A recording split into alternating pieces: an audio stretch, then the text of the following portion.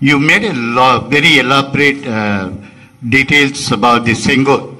It's not only from Chola kingdom, it's the rulers of Tamil Nadu, Pandya, Chera Chola Pandya, everybody was using the Senghol when transits of power and also indicate the how a king has to rule the country. It indicates uh, to the people of the uh, entire uh, southern India. Now, the southern India people have shut the door for the BJP for the. uh, for- चलिए चलिए No, let me मैं take समझ up- गया हो गया आपका सवाल next இந்த பேட்டி வந்து சமூக ஊடகங்களில் அப்படியே சுற்றிக்கிட்டு இருக்கு இந்த ஒரு நிமிஷம் வீடியோ அப்படிங்கிறது டெல்லியிலேருந்து இன்னைக்கு கன்னியாகுமரி வரைக்கும் எல்லா ரிப்போர்ட்டர்ஸருடைய மொபைல்லையும் வந்து நிற்கிது இதுக்கான காரணம் என்ன அப்படின்னா ஒரு கேள்விக்கு ஒரு அரசியல்வாதியை லாக் பண்ணுற மாதிரியான கொஸ்டின்ஸ் அது வந்து ஒரு ரிப்போர்ட்டருக்கு கிடைக்கக்கூடிய ஒரு கிரெடிட் அவ்வளோதான் இந்த படத்தை பார்க்கும்போது இந்த செய்தியை பார்க்கும்போது என்னால் புரிஞ்சுக்க முடிகிறது. இதில் உங்களுக்கு என்னெல்லாம் புரிஞ்சுது அப்படிங்கிறதும் நீங்களும் கமெண்ட் பாக்ஸில் பதிவு பண்ணுங்கள் இதில் நான் என்ன புரிஞ்சுக்கிட்டேன் அப்படிங்கிறதையும் நான் உங்ககிட்ட சொல்கிறேன் ஒரு செய்தியாளர் தன்னுடைய கேள்வியை முன்வைக்கிறாரு உள்துறை அமைச்சர் அமித்ஷா கிட்ட. அந்த கேள்வி வந்து ஆரம்பிக்கிறதுக்கு முன்னாடி அவர் ஒரு அறிவுரை சொல்கிறார் சோழர்கள் மட்டும் வந்து செங்கோல் அப்படிங்கிற ஒரு விடயத்தை பயன்படுத்தலை.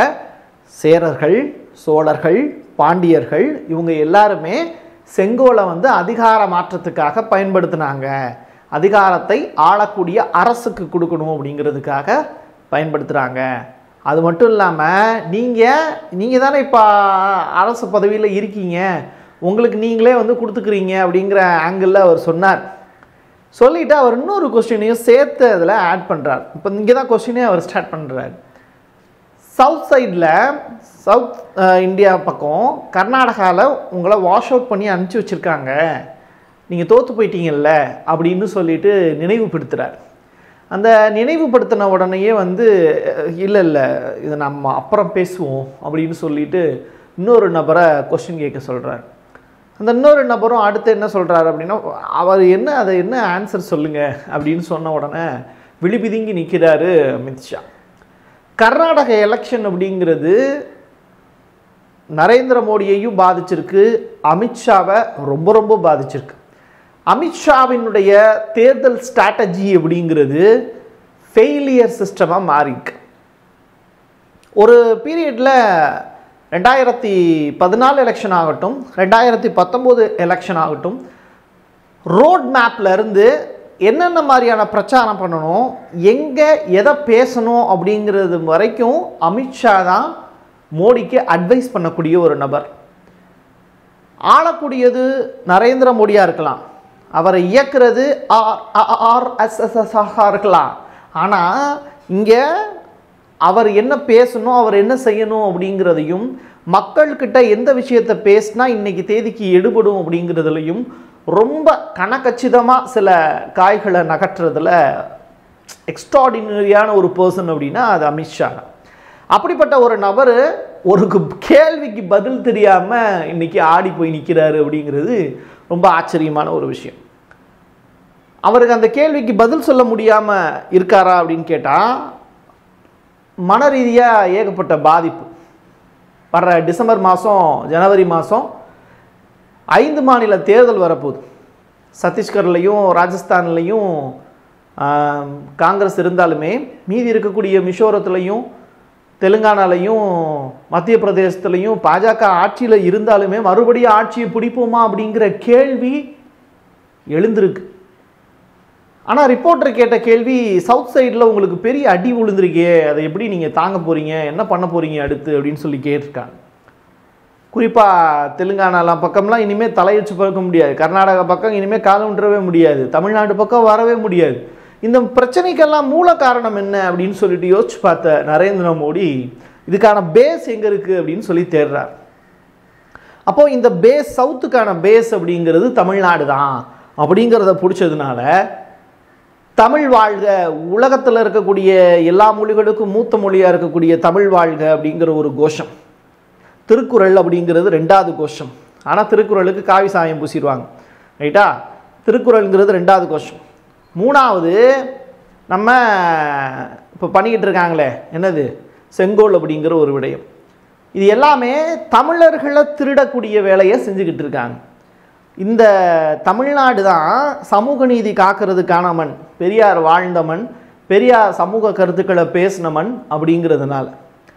தெலுங்கு கன்னடம் மலையாளம் பேசக்கூடிய நபர்கள் எல்லாமே இந்த ஊருக்குள்ளே தான் அதிகமாக சுற்றிட்டுறாங்க தமிழ்நாடு இருந்தாலும் தமிழ்நாட்டிலிருந்து பிரிஞ்சு போன கேரளாவாகட்டும் ஆந்திராவாகட்டும் இந்த பக்கம் கர்நாடகாவாகட்டும் தெலுங்கானாவாகட்டும் இது எல்லாம் ஒரே நிலப்பரப்புக்குள்ள திராவிடம் அப்படிங்கிற ஒரே ஒரு இடத்துக்குள்ளே சங்கமிக்குது. அப்போ இந்த திராவிடத்தை வேற இருக்க முடியாது அப்படிங்கும்போது அப்போது மொழியை முதல்ல நம்ம கைப்பற்றுவோம்.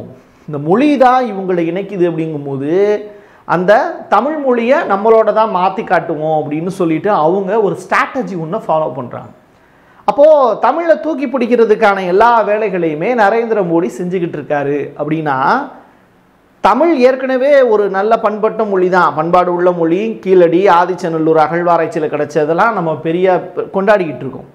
ஆனால் அந்த ஆதிச்சநல்லூர் அகழ்வாராய்ச்சியில் கண்டுபிடிச்ச விடயங்கள் எல்லாத்தையுமே மூடி மறைக்கக்கூடிய வேலையை தான் கடந்த ஆண்டுகள் எல்லாத்துலேயுமே மத்திய அரசு செஞ்சதுங்கிறது தான் வரலாறு. ஸோ தமிழனுடைய அந்த பெருமைகள்லாம் வெளியில் வந்துடக்கூடாது அப்படிங்கிறதுல சென்ட்ரல் கவர்மெண்ட் ரொம்ப தீவிரமாக இருந்தது. சான்ஸ்கிரிட்டுக்கு முக்கியத்துவம் கொடுத்தது. சான்ஸ்கிரிட் வளரணும் அப்படிங்கிறதுக்கு அதுக்கு நிதி வந்து அதிக அளவில் ஒதுக்குனாங்க. ஆனால் தமிழ் வளர்ச்சி அடைகிறதுக்கோ தமிழ் மொழியை உலகம் முழுவதும் பரப்புறதுக்கோ இல்லை நெட்லையும் கணினி மூலியமாக தமிழை வளர்க்குறதுக்கோ நிதி ஒதுக்கப்பட்டிருக்கான்னு கேட்டால் மாநில அரசு தான் தமிழ் பண்பாட்டுத்துறை தமிழ் வளர்ச்சித்துறைன்னு ஒரு டிபார்ட்மெண்ட் வச்சுருக்கு. சென்ட்ரல் கவர்மெண்ட்டு அதுக்கு உண்டான எந்த விதமான நிதியும் ஒதுக்கிறது இல்லை இன்றைக்கி கடலில் ஆராய்ச்சி பண்ணணுங்கிற கோரிக்கை ரொம்ப காலமாக வச்சுக்கிட்டு இருக்கோம். அந்த கோரிக்கைகள் எல்லாமே நிறைவேறிச்சான்னு கேட்டால் பூம்புகாரில் கடல் ஆராய்ச்சி பண்ணுறதுக்கான ஃபண்ட் இல்லாமல் அப்படியே நிப்பாட்டி வச்சுருக்காங்க. கோவலன் கண்ணகி வாழ்ந்த புண்ணிய பூமி. சிலப்பதிகாரம் அப்படிங்கிற ஒரு தமிழ் அகராதி இலக்கணம். அப்படிப்பட்ட விடயங்கள் எல்லாமே வந்து கிடச்ச ஒரு இடம். பூமிக்கு அடியில் வந்து கடலுக்கு அடியில் ஒரு பெரிய நகரமே இருக்குது அப்படின்னு சொல்கிறாங்க அதிலெல்லாம் தமிழ் எழுத்துக்கள் இருக்குங்கிறாங்க.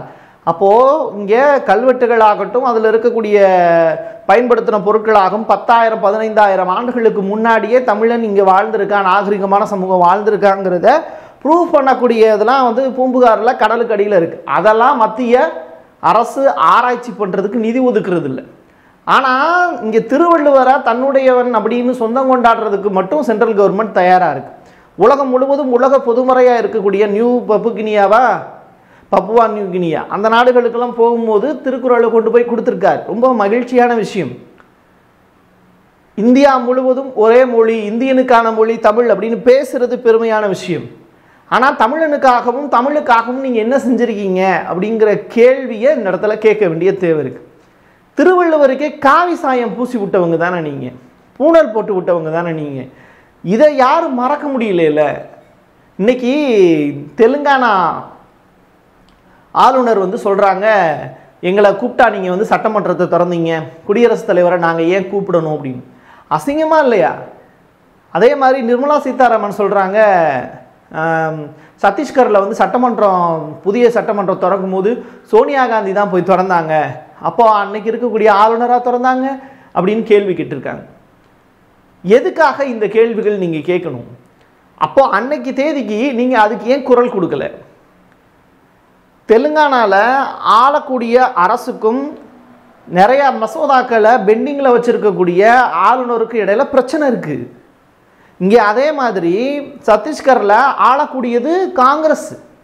ஸோ காங்கிரஸினுடைய சட்டமன்றத்தை திறக்கிறதுக்கு ஆளக்கூடியவங்க வந்து நேரடியாக எங்கே போய் நிற்கிறாங்கன்னா அந்த கட்சி சார்ந்த நபர்கள்ட்ட போய் நிற்கிறாங்க அவங்க வந்து திறந்து வைக்கிறாங்க.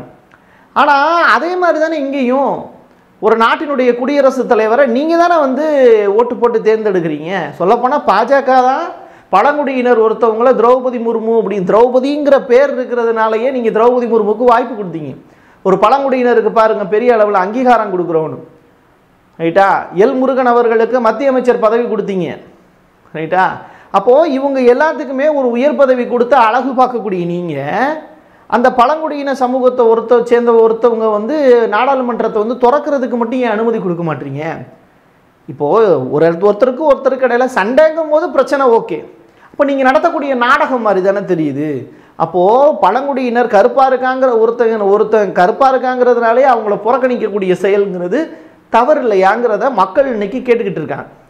குடியரசுத் தலைவருடைய ஷெடியூலை பொறுத்தளவில் அவருக்கு அந்த நே அந்த டயத்தில் எந்த ஒர்க்குமே இல்லை.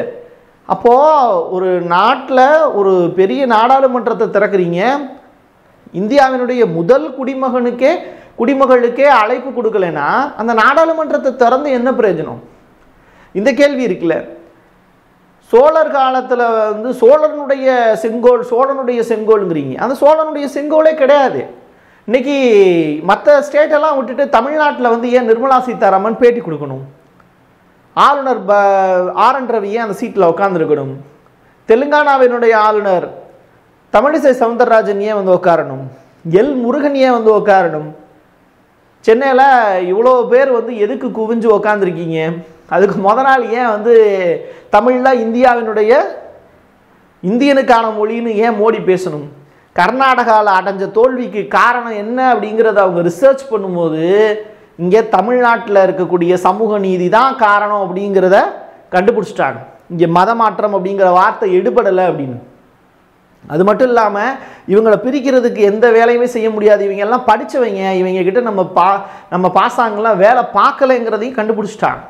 சமாதானம் பேசுறதுக்கு சமாதான தூதுவர்களாக நிதியமைச்சர் நிர்மலா சீதாராமன் வந்து உட்காந்துருக்கார் அதில் பேசிகிட்டு இருக்கும்போதே வந்து இங்கிலீஷில் வந்து ஒரு ராஜில் வேலை பார்த்து இப்போ ஏஎன்ஏல இருக்கக்கூடிய ரொனால்டோன்னு ஒரு கேள்வி கேட்குறாங்க ரிப்போர்ட்டர் கேள்வி கேட்குற போது ஒரு விஷயத்தை பதிவு பண்ணுறாரு அவர் ஏஎன்ஏல இருக்கிறதுனால அவர் இங்கிலீஷில் கொஸ்டின் கேட்குறாரு.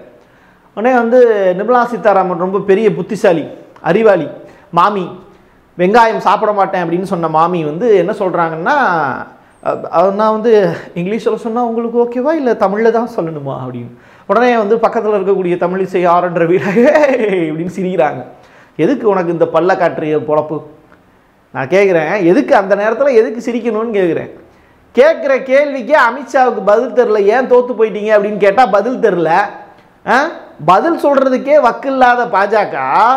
ஒருத்தவங்க கேள்வி கேட்கும் போது ஏன் இங்கிலீஷ்லேயே பதில் சொல்லிட்டு போவாங்க யார் தமிழில் பேசணுது உனக்கு இங்கே வந்து தமிழில் பேசணும்னு சொல்லவே இல்லையே அவங்கள எந்த நீங்கள் எந்த லாங்குவேஜ்லனாலும் பேசுங்கங்க. அது எங்களுக்கு பிரச்சனை இல்லை. நான் என்ன கேள்வி கேட்குறேனோ அந்த கேள்வி எந்த கேள்வியில் எந்த மொழியில் கேட்குறேனோ அதே மொழியில் பதில் சொல்லுங்கள் அப்போது இங்கே என்ன அப்படின்னா இங்கிலீஷ் வந்து உங்களுக்கு பொதுவான மொழி அப்படிங்கிறது உங்கள் எல்லாருக்குமே தெரியும்.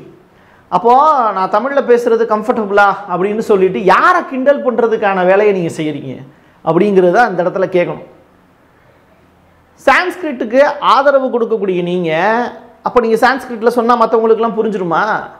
ஒன்று தமிழில் பேசணும் இல்லை இங்கிலீஷில் பேச போகிறீங்க அதுக்கு எதுக்கு நக்கல் சிரிப்பு? அங்கே இருக்கக்கூடிய ரிப்போர்ட்டர்ஸ் எல்லாருமே வந்து அதையும் கவனிச்சுட்டு தான் இருந்தாங்க அமைதியாக தான் இருந்தாங்க. ஆனால் டெல்லியில் நடந்தது வேற. அமித்ஷாவுக்கு வந்து ஒரு கேள்வி கேட்கப்படுது வந்து ஏன் சவுத் சைடு தோற்று போயிட்டீங்க அப்படின்னு? அவருக்கு பதிலே தெரில இதை சொல்கிறேன் இப்போ சொல்கிறேன் மெதுவாக சொல்கிறேன் அப்படின்ட்டு போகிறார் இந்த பக்கம் என்ன அப்படின்னா சமாதான தூதுவர்கள் வராங்க. இப்படி தொடர்ந்து பாஜக வந்து தேர்தல்களை சந்திக்க முடியாமல் செய்தியாளர்களை ஒம்பது வருஷமாக சந்திக்காமல் மோடி அவர்கள் ஒம்பது வருஷமாக செய்தியாளர் சந்திப்பே நடத்தலை. செய்தியாளர்களை அவமானப்படுத்தக்கூடிய வகையில் பேசுகிறது ஹச்ராஜா மாதிரியான ஒரு தாந்தோன்றித்தனமான அரசியல்வாதிகளை களமிறக்கி விட்டு செய்தியாளர்களை இஷ்டத்துக்கு வந்து மரியாதை குறைவாக பேசுகிறது கேட்ட கேள்வி ஒன்றா இருக்கும் பதில் வேறையாக இருக்கும் ஆன்டி இண்டியனுங்கிறது மைக்கை பிடிச்சிட்டு திரியக்கூடிய ஒரு ரிப்போர்ட்டரை பார்த்து சமுதாய பொறுப்புள்ள ஒரு ரிப்போர்ட்டரை பார்த்து ஆன்டி இண்டியன் சொல்லக்கூடிய நீங்கள் உங்கள்கிட்ட உங்களுக்கு இங்கிலீஷ் தெரியும் தமிழ் தெரியும். ஆனால் சான்ஸ்கிரிட் தான் பெருசுன்னு பேசுவீங்க. ஆனால் வெளியில் வந்து ஒரே ஒரு சான்ஸ்கிரிட்டில் நீ ஒரு வார்த்தை சொல்லி தக்காளி சொல்லி வாங்கி கேட்டு வாங்கி சாப்பிட்ருவியா முடியுமா உன்னால்? எனக்கு இங்கே வந்து வெங்காயம் வேணும் அப்படின்னு சொல்லிட்டு சான்ஸ்கிரிட்டில் கேட்டு வாங்கிடுவியா முடியாதுல்ல. அப்போது உனக்கு உள்ளூர இருக்கிறது சமஸ்கிருதம். ஆனால் வெளியில் தெரிகிறது மட்டும் வந்து நான் தமிழ் அப்படிங்கிற போர்வையில் உங்கள் எல்லாரையும் வந்து கவர்ந்தெடுப்பேன் அப்படின்னு நீங்கள் சொல்லக்கூடிய அந்த கோமாளித்தனமான ஒரு விடயத்தை இங்கே நம்புறதுக்கு யாருமே தயாராக இல்லை. பதில் வந்து ஒருத்தனுக்கு தெரியல அப்படின்னா ஓகே. கேள்வியே ஒருத்தனுக்கு புரியல அப்படின்னா என்ன பண்ண முடியும்?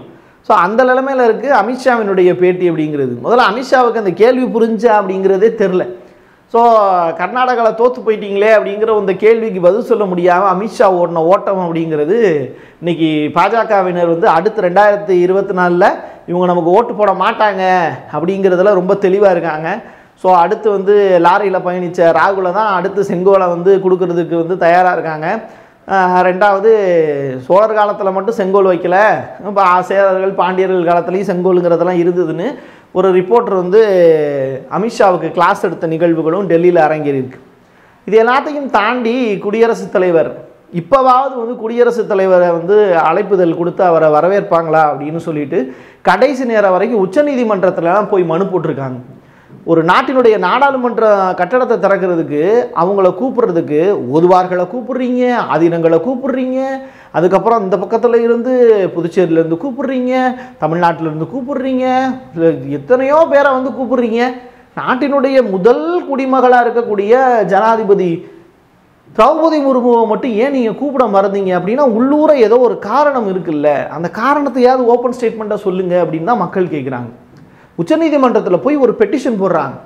குடியரசுத் தலைவரை திறக்கிறதுக்கோ அவங்களுக்கு அழைப்புதல் கொடுக்கறதுக்கோ பாஜகவுக்கு ஆணையிடுங்க அப்படின்னு சொல்லிட்டு நீதிபதிகள் முன்னாடி மன்றாடி கேட்குறாங்க இதுக்கு என்ன பதில் சொல்ல போகிறாங்க பாஜக இதுக்கு என்ன பதில்? அலையா விருந்தாளியா வந்து திரௌபதி முர்மு வந்து இவங்கள கன்னத்தில் அரைஞ்சது மாதிரி வந்து நேரடியாக வந்து நிற்கணும்னு நினைக்கிறேன். இப்படிப்பட்ட ஒரு நாட்டில் வாழ்கிறோம் அப்படின்னு நினைக்கும் போது ரொம்ப பரிதாபத்துக்குரிய நிலைமையா இருக்கும். உடனே சங்கிகள் எல்லாருமே கடந்து வாள் வீசி இப்படி கிளம்பிடுவாங்க அப்படியே. வந்துட்டு வந்து நீங்கள் வந்து அவங்க கூப்பிட்டா என்ன கூப்பிடாட்டி என்ன? உங்களுக்கு என்ன? இதை பற்றி நீங்கள் ஏன் கவலைப்படுறீங்க? அப்படிங்கிற மாதிரியும் வெவ்வேறு வார்த்தைகளை பயன்படுத்தியும் வந்து நம்மளை சோஷியல் மீடியாவில் வந்து திட்டுற மாதிரி திட்டுவாங்கன்னு வச்சுக்கோங்க. அதெல்லாம் தாண்டி சங்கிகளே கொஞ்சம் யோசிச்சு பார்த்தா நல்லாயிருக்கும் ஒரு நாட்டினுடைய இந்திய குடிமகளை ஏன் வந்து நாடாளுமன்ற கட்டடத்தை திறக்கக்கூடாது? ஏடா நீயும் கருப்பு நானும் கருப்பு. சரி நீ சிவப்பாக இருந்துட்டு போ அது பிரச்சனை இல்லை. ஒரு நாட்டினுடைய ஒரு குடியரசுத் தலைவரை வந்து ஏன் வந்து திறக்கிறதுக்கு அனுமதிக்கக்கூடாது? ரெண்டாவது கூப்பிடவா செய்யலாம்ல அப்படிங்கிற ஒரு விஷயம். அழைப்புதலே வந்து கொடுக்காம வச்சு இரு அவமானப்படுத்துறது அப்படிங்கிறது ஓட்டு போட்ட உன்னையும் என்னையும் அவமானப்படுத்துறது இல்லையா? இந்த கேள்வியை வந்து மக்கள் கேட்கணும் அப்படிங்கிறதுக்காக தான் தொடர்ந்து இந்த மாதிரியான விடயங்களை பதிவு செஞ்சுக்கிட்டு இருக்கோம். ஏன்னா என் கையெழுத்து என் மக்களுக்கானது. மீண்டும் ஒரு நல்ல பதிவில் சந்திக்கிறேன். நன்றி வணக்கம்.